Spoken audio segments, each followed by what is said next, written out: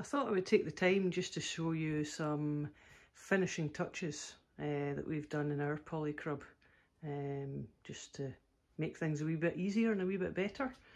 So one thing that we've done on each of the window frames and also the door frame is add just two wee cubes of wood uh, and drill some holes uh, so that we can get some rope through them. Um, so this is just old rope um, that was of no use to us anymore. Um, so we've made these holes quite tight. Uh, so what that means is that there's so much friction that the window won't actually open any more than the length of rope that you have out here. Uh, so that actually works very, very well. It's really easy to adjust. Um, all you need to do is pull some more rope through and then the window opens more. And to stop it closing completely, we've just been putting a wee block of wood here. And I have a similar setup here on the door, on the inside, uh, and through this window here, and also on the outside.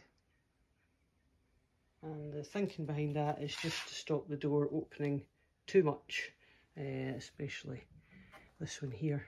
Um, and almost, you know, opening back on itself and actually, you know, breaking if it's very windy. And this is the window catches uh, from a distance and also on, on the other door here. I have a nice wee hanging shelf here. Um, so this has just been uh, a length of timber um, that we've run through the planer thicknesser to get it to the right thickness. And we've just stuck on these wee edges just so that if there's anything on it, it doesn't roll off if it if it was to move. And we've just been using that for um, you know anything that we might need um, lollipop sticks and a pencil so we can label everything. Uh, and that's just been attached here. And um, this just screws into the timber. And at this end um, just the same but into one of the tubes instead. Um, so there we go. There's an idea of what it looks like and just small bits of accessory cord used to suspend it from the hooks or the loops. I also have this fold out potting table um, so it's just on a set of hinges here just below the window frame. Um, so that just pulls up like this. If I had two hands that would have been easier. And the two legs, those again are just on hinges, so when you lift the table up, uh, you can fold the legs down.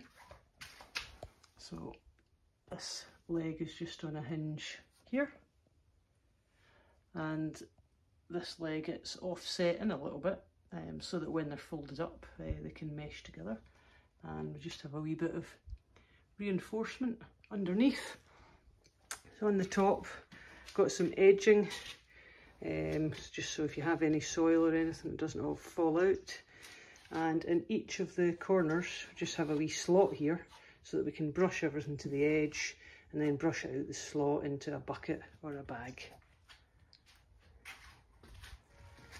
So there we go, that's our potting table.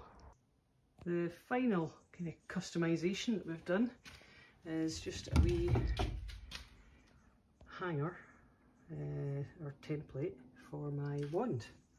Uh, so I'll do a review on this wand at some point, uh, but this is what I use for most of my watering. And it just hangs up in here. Uh, so it's held up out the way and off the ground. It just hangs up at the side of the window.